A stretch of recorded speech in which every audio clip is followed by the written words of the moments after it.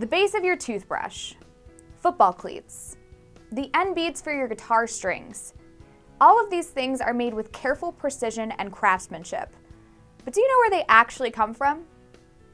Tool and die makers are responsible for building the tool that manufacturers use to produce all of those things. And as you can probably guess, it takes a very skilled operator to run a tool and die machine. The tool or die can be made from various grades of metal, and some will be used thousands of times before a new tool is needed. But don't let me do all the talking. Today we sat down with Josh. He starts every workday around 6 a.m. and typically works 8 to 10 hour days.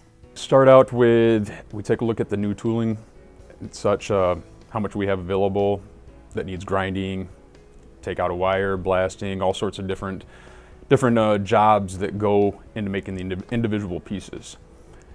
And so a lot of it kind of depends on the workload. The training to become a tool and die maker can range, mostly depending on the company. What they're really looking for are workers who are ready to learn. And that's where the apprenticeship comes in. Working in an apprenticeship gives you the opportunity to gain on the job experience because you're learning how to do the job by basically doing the job. This is one of the reasons an apprenticeship is great if you're a hands on learner. An average apprenticeship can take four to five years, and it includes all the instruction you'll need to perform the job as well as compensation.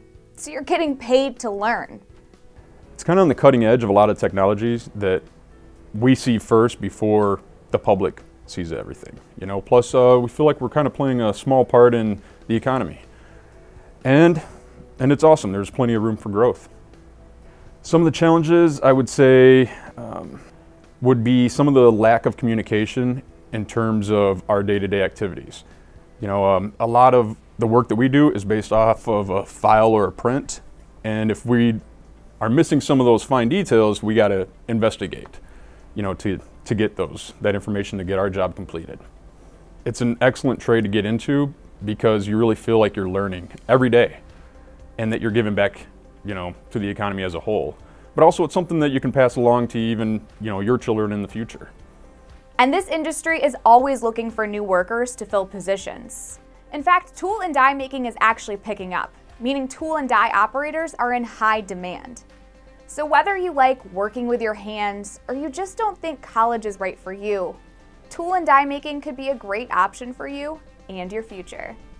I think it would be great to add to the workers that we already have because a lot of people are moving on as well. You know, some of the older workers are, you know, they retire and such, so we kind of need to replenish the pool. My father-in-law was also been in the trade for many years, so that played a little factor for me. Um, he's been with the same company for 40 some years, so that job stability is very important to me, you know, and once you know this trade and you know you're you're learning this trade, you're going to always have a job. You know, like I'm my only regret is not getting started sooner, as in right after school myself, you know, because uh, the future is very bright in this trade. Get started, the sooner the better. You know, like I said, my only regret is joining this trade um, a little a little later. You know, um, I wish I would have joined right after high school. You know, um, especially a company like this.